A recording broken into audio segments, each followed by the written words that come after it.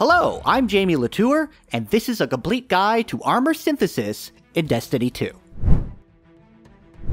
Destiny 2 players begged Bungie for some kind of transmogrification system so they could make their boring piece of armor look like a much less boring piece of armor.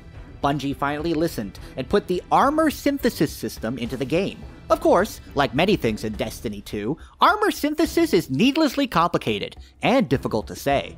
So let's figure out how to transmogrify gear so your Guardian can look as fashionable as possible.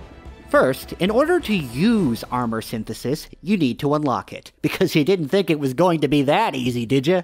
Travel to the tower and head on over to Banshee 44's kiosk. Talk to him, and you should be able to get a quest called Armor Synthesis Introduction. The next step involves heading over to the Annex and speaking with an exo named Ada 1, who can be found not too far from where the Drifter hangs out. After a short chat, she'll tell you that you need to go to Europa and find the Braytech facility, which is where you'll find the necessary data to unlock transmogrification.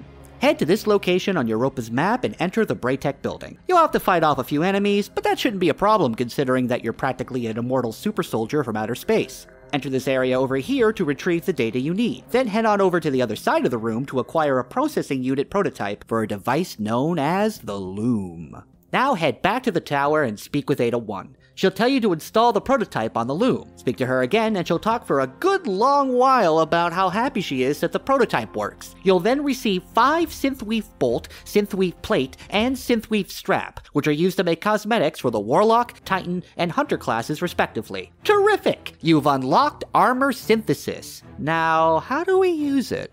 To transmog your armor, you'll need the aforementioned Synthweave materials, which can be gathered in a few different ways. You could either buy them from the store using silver, get them by doing certain quests, or you could collect another resource called Synth Cord, which can be gathered by doing bounties that you get from Ada. You used to need an additional resource called Synth Strand to purchase these bounties, but this system was already convoluted enough. So Bungie got rid of that, and now you could just use plain old Glimmer. Each of her bounties will give you 100 synth cord, which is the amount needed to turn it into synth weave at the loom. The quickest bounties to complete are usually the raid dungeon bounties or the vanguard bounties. Just stay away from the destination bounties. They take forever to finish. As soon as you've got some synth weave, head to your character screen and navigate on down to the Appearance subscreen. Then head over to this section called Appearance Customization. In this menu, you can equip shaders to recolor your gear and take a piece of non-exotic armor and make a cosmetic item called an ornament. Ornaments can be reused on any piece of legendary or purple armor to change its appearance, and it costs one synth weave to create them. So find the armor you like, create an ornament,